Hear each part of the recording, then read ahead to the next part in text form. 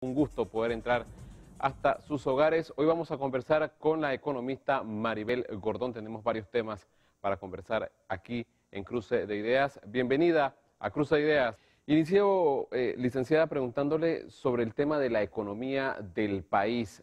El tema económico ha sido un tema bastante interesante durante el año 2020 el Producto Interno Bruto tuvo una contracción de aproximadamente 17.9%. Sin embargo, hay proyecciones por parte del Fondo Monetario Internacional de un crecimiento económico del país para este año 2021 de un 12%. ¿Qué opinión le merece a usted como economista estas proyecciones para este año 2021? Bueno, creo que lo primero que tenemos que tener presente es el hecho de que son proyecciones que en un año se han variado eh, en varias ocasiones.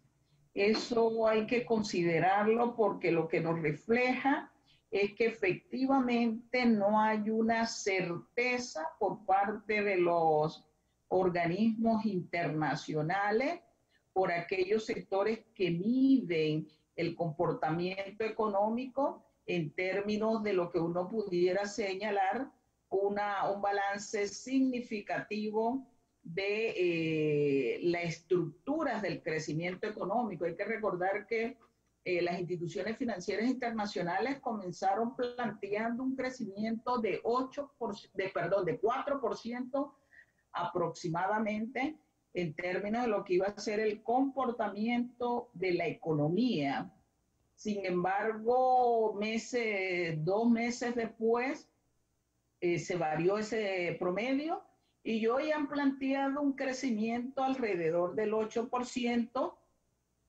que podríamos decir de una u otra manera que dista un tanto de eh, la relación en términos eh, de lo que es el crecimiento que se espera para la economía mundial, que está cifrado en aproximadamente 4.3%.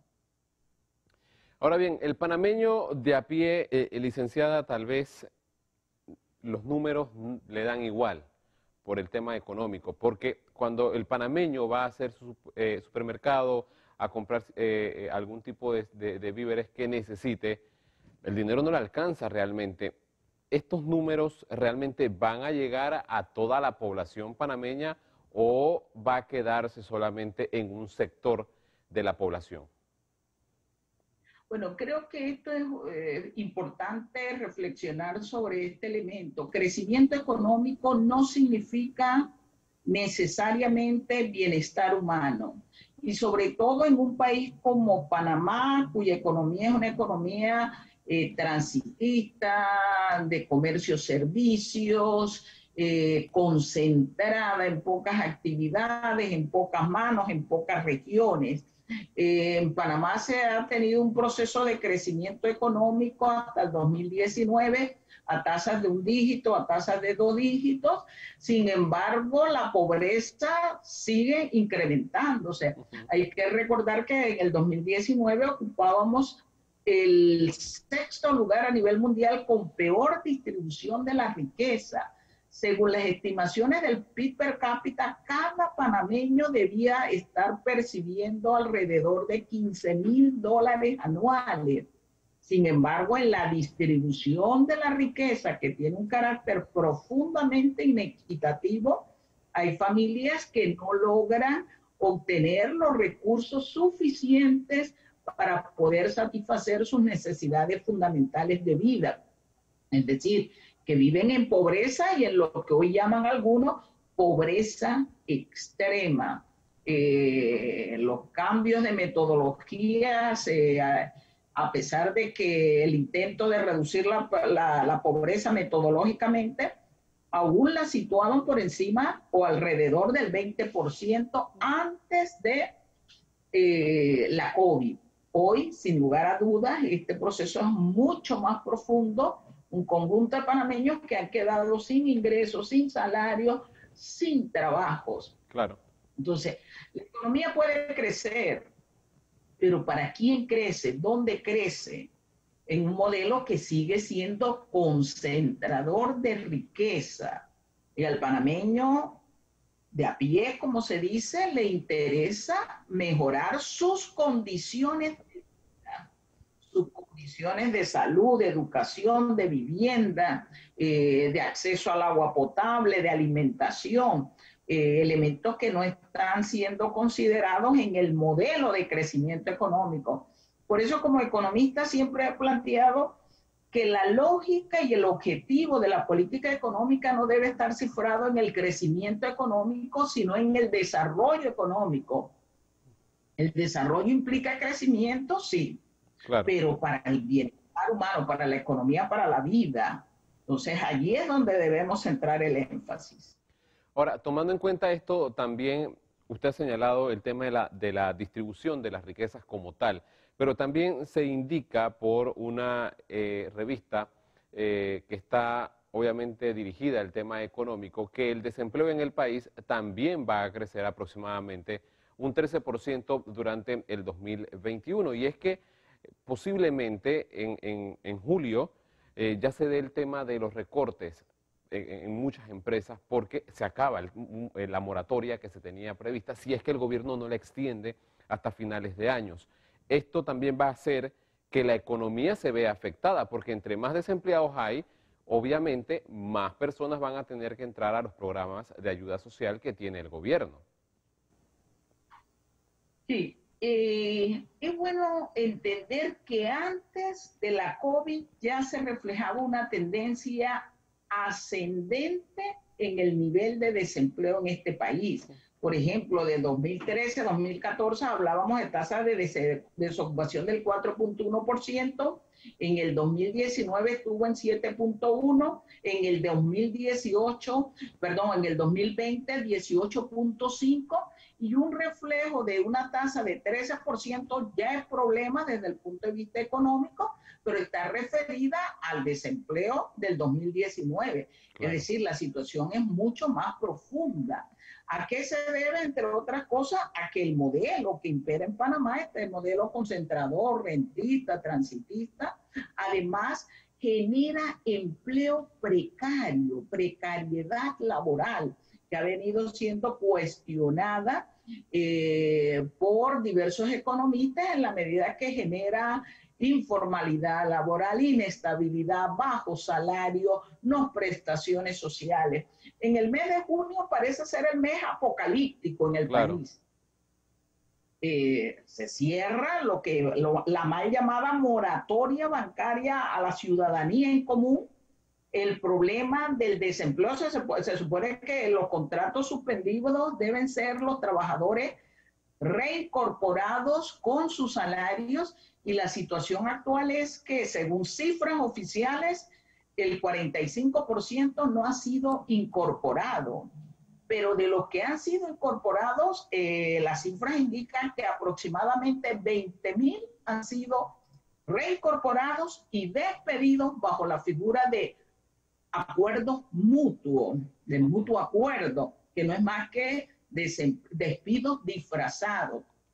Y un 51% de los reincorporados en sus condiciones laborales se han visto mermadas en términos de tener que hacer más trabajo o en términos de reducir jornada forzosamente y por ende reducir sus niveles de ingreso.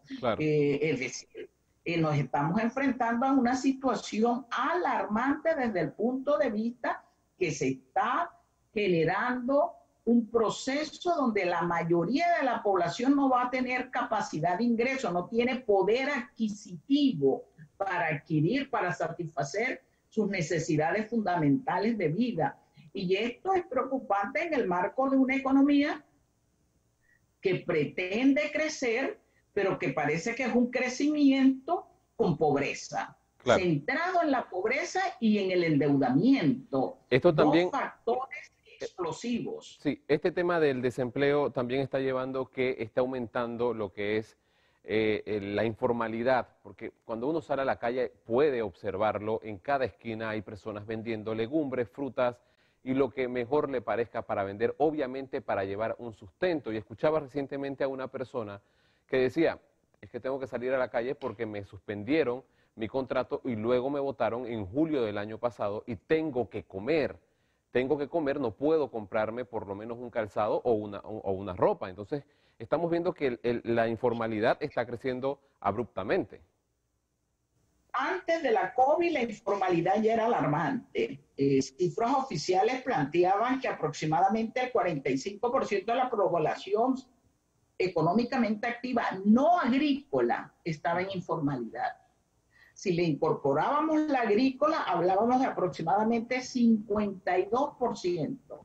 Hoy esa informalidad laboral está en un 62% y la situación es mucho más compleja cuando vemos que dentro de las estructuras formales del mercado laboral, aproximadamente un 14% de los trabajadores están en informalidad laboral, es decir, lo que se llama informalidad en la formalidad, lo cual es un proceso efectivamente de poner condiciones precarias a los trabajadores, sean obreros, sean profesionales, pero además una economía que también está castigando a los que se gestan sus ingresos a esos que llaman pequeños empresarios para disimular el desempleo, el subempleo, a esos que profesionales que están por contratos suspendidos.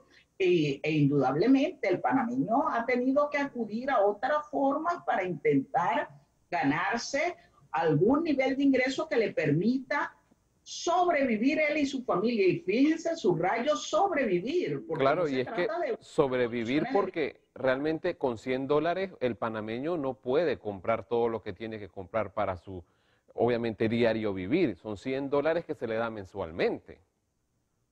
100 dólares, 120, los mal llamados bonos, vales, que le han puesto diferentes nombres, no alcanza siquiera para el costo de la canasta básica de alimentos, pero queda por fuera el agua, el tanque de gas, la luz, el transporte, eh, los medicamentos, la educación, la salud.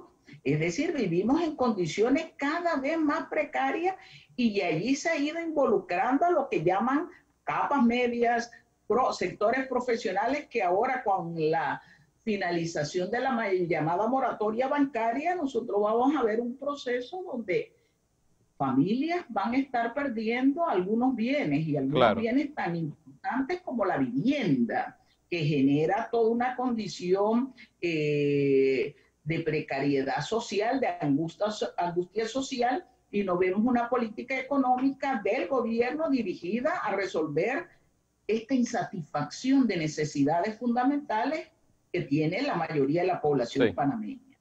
Vamos a hacer una breve pausa comercial aquí en Cruce de Ideas. Amigo televidente, usted no le cambie, porque obviamente el tema económico también está, según las autoridades de la Caja del Seguro Social, trastocando el programa de invalidez, vejez y muerte, debido a que muchas personas y empresas no están actualmente cotizando. Con esto vamos a la pausa. Al regresar vamos a estar hablando de este importante tema.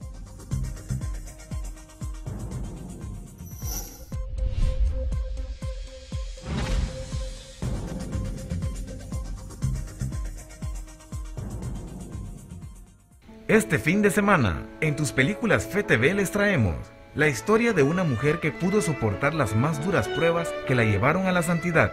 Santa Rita de Casia. No te pierdas la primera parte este sábado y la segunda parte el domingo a las 8 de la noche, solo por FTV, el canal de la misericordia.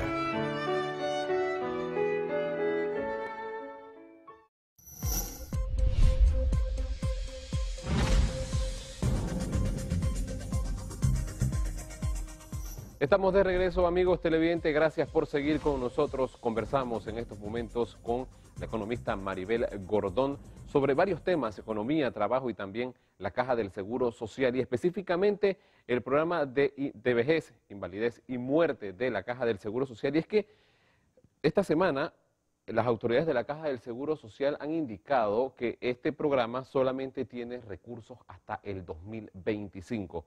Lo que ellos han señalado es lo siguiente, que muchas empresas no han estado cotizando y muchos panameños han dejado de cotizar.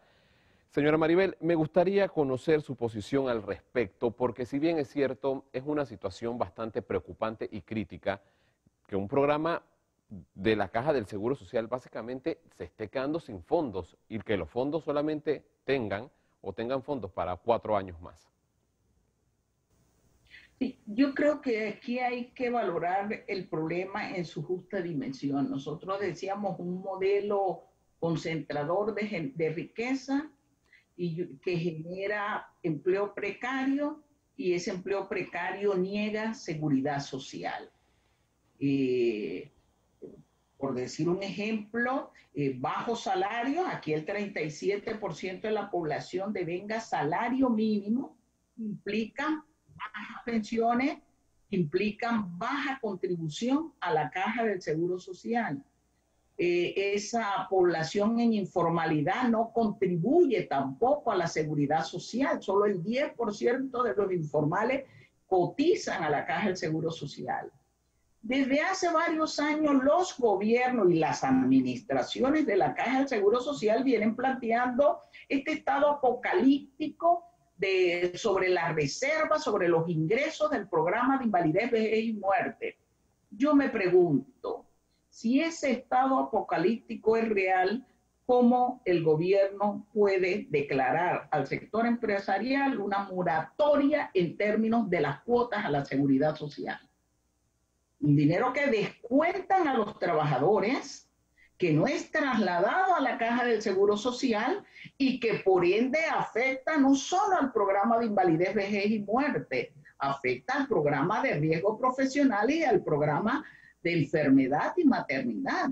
Los trabajadores estamos financiando a bajo costo o a cero costo el capital de trabajo del sector empresarial.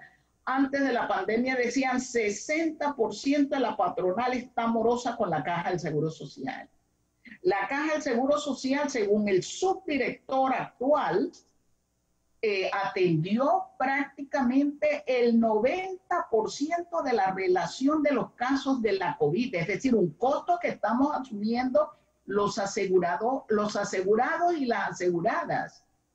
Y encima de eso, en medio de la COVID, varios escándalos en materia de la gestión de los recursos de la institución. Entonces, frente a los abusos, frente a los problemas estructurales, hay responsabilidades y eso genera el estado de situación de la incertidumbre en que se ha querido colocar el problema.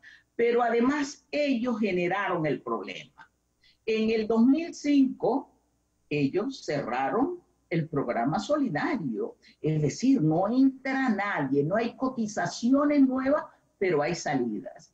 Si yo leo el informe del Fondo Monetario Internacional, es claro, Dice, eh, el programa de solidario, de lo que llaman de sistema de beneficios definido, va a colapsar, pero dicen que también el sistema de beneficios indefinido. Y en Panamá el problema que enfrenta la seguridad social tiene mucho que ver con lo que ha planteado la OIT.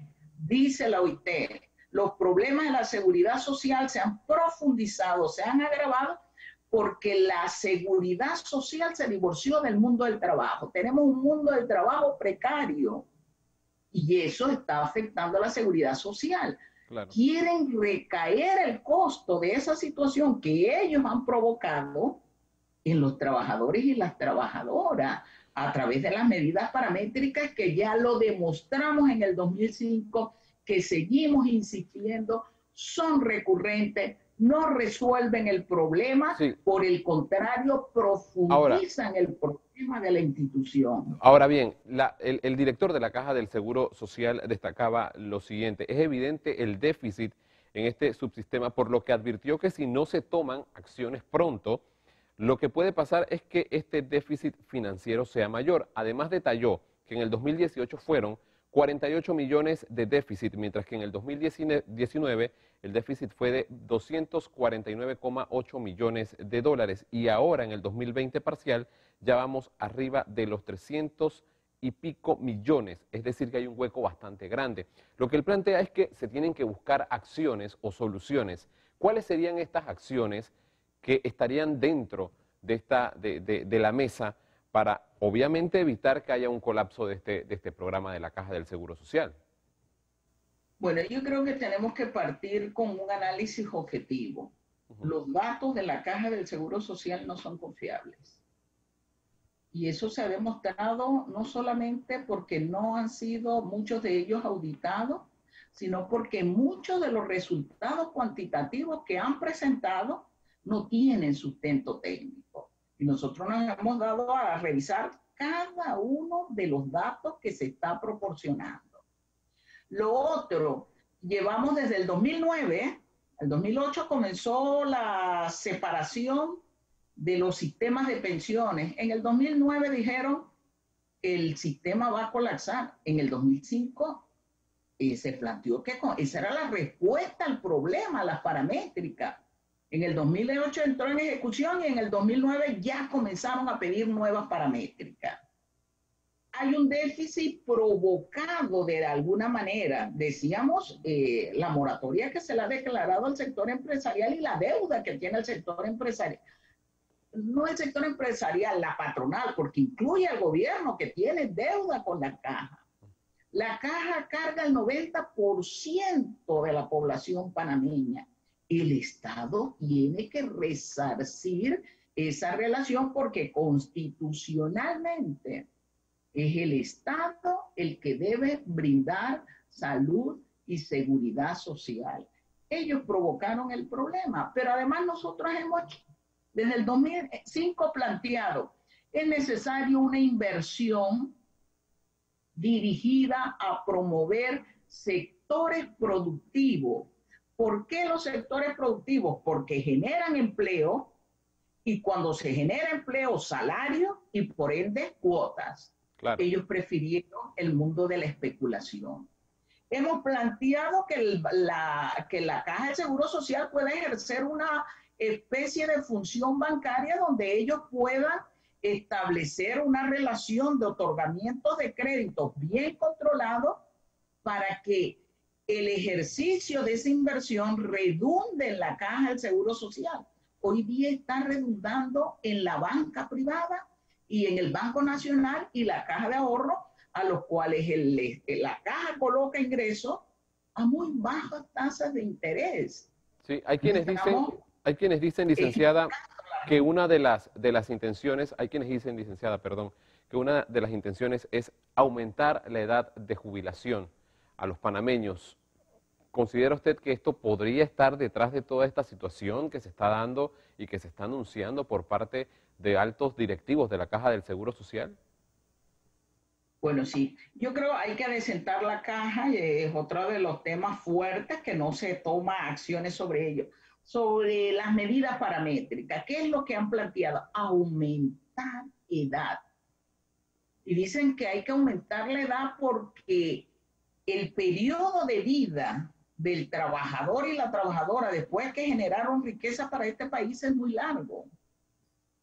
Y frente a ello parece que la lógica es que usted trabaje, tenga un periodo de retiro corto para que prepare, y me disculpan, siempre lo he señalado así, prepare su funeral para poder hacer rentable la, la caja del Seguro Social bajo esa lógica. A las mujeres no quieren incrementar ocho años de los 55, 57, perdón, a los 65 años. A los hombres de los 62 a los 65. Eso implica una pérdida en términos de que vamos a tener que eh, estar en un mercado que ya hemos valorado, un mercado laboral que hemos valorado como inestable mucho más tiempo lo cual pone en peligro el derecho a la pensión, porque no vamos a cumplir los requisitos. No solamente se ha hablado de edad, y bueno, y dicen de los 65 y de ahí paulatinamente hasta los 70 años de edad. ¿Quién contrata a una persona o mantiene hasta los 70? Es decir, la pensión se vuelve en un estado de inestabilidad y a los asegurados y aseguradas en indefensión. Nos dicen que debemos aumentar las cuotas de 240 a 300. Eso implica cinco años adicionales para poder alcanzar ese segundo requisito. pero en términos de cuota, ante una inestabilidad laboral, dice la propia caja, los asegurados, los trabajadores no cotizan 12 cuotas al año, el promedio es de 9 cuotas. Esas 9 cuotas, si las subimos, eh, si la cuota la subimos a 300, a una relación promedio de 9, tardaríamos 33.3 años para alcanzar el requisito. Es un segundo obstáculo para poder tener derecho a la pensión. Nos dice, hay que incrementar el pago de la cuota. Y eso implica en el presente reducir el poder adquisitivo de los salarios, pero no es porque voy a visibilizar una mejor condición a futuro en términos de pensiones, porque a ese nivel lo que nos están planteando que en lugar del 60% las pensiones estén sobre la base de un salario promedio del historial de vida a fin de alcanzar en lugar de 60 un 40%. Es decir, si hoy el 45% de la población pensionada es pobre, lo que estamos llamando es que los que logren pensionarse van a tener un nivel de precariedad a un mayor, a, un nivel mayor, es decir, prácticamente la mayoría va a ser pobre. Claro. Recordar que la pensión promedio en este país está entre 400 y 500 dólares. No logra con ello usted satisfacer sus necesidades fundamentales de vida. No es una respuesta porque ellos mismos han advertido que de establecerse estas medidas paramétricas, tendríamos que andar valorando paulatinamente el ajuste de estos parámetros.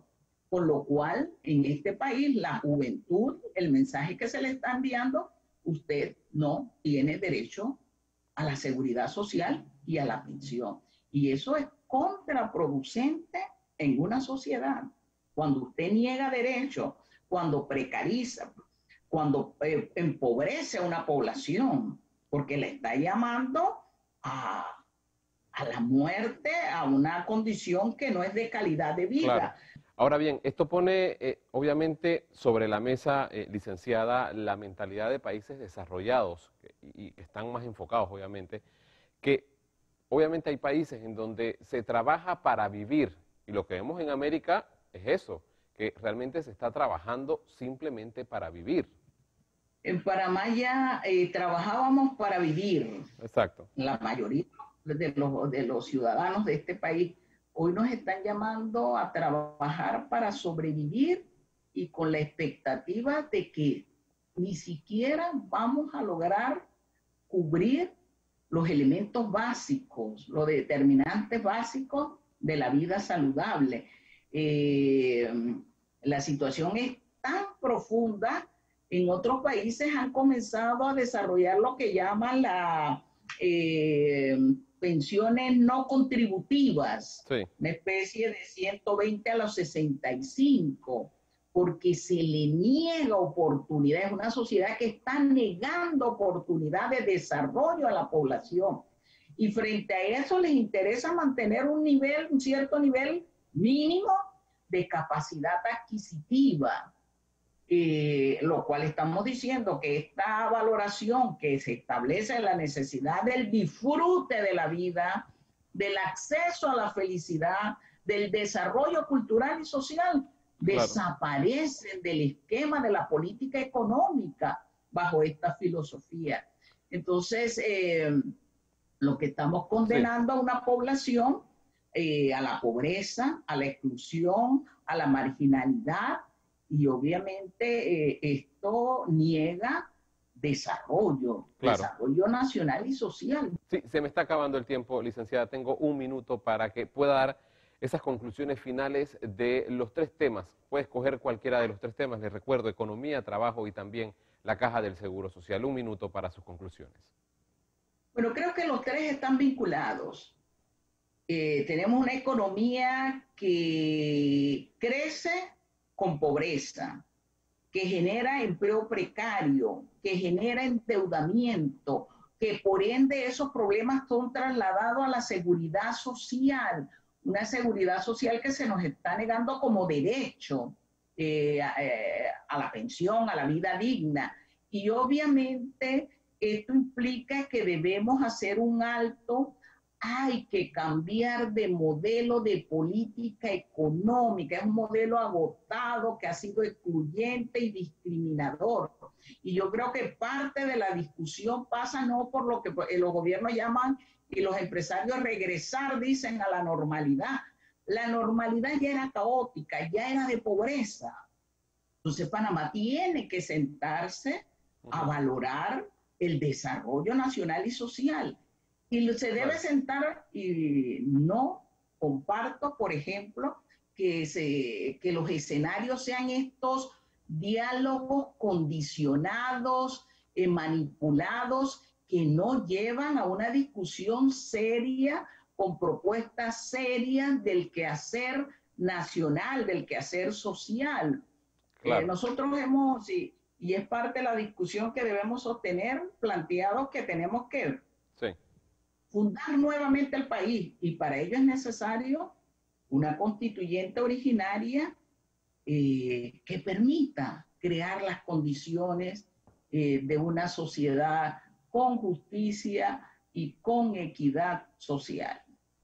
Agradecemos a Maribel Gordón, quien es economista, por estar con nosotros aquí en Cruce de Ideas, hablando sobre estos importantes temas que, como ha dicho la licenciada, son temas que van ligados a la economía el trabajo y también la seguridad social. Usted puede sacar sus conclusiones a través de nuestras cuentas de redes sociales arroba FTV05 utilizando la etiqueta Cruce de Ideas. Tengan todos una excelente noche.